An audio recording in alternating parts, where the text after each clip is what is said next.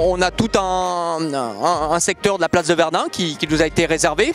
Donc sont présents des, représentants de, chaque unité des troupes de montagne, un peu comme il y a des stations qui sont de Haute-Savoie, des Alpes du Sud.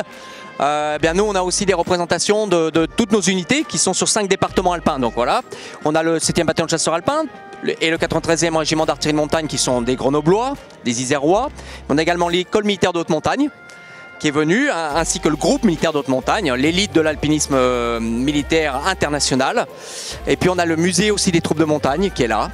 Et enfin l'entraide montagne toujours, qui est une association euh, qui euh, œuvre pour le suivi, pour l'aide aux blessés, aux blessés des, troupes de montagne, ainsi que pour les familles endeuillées.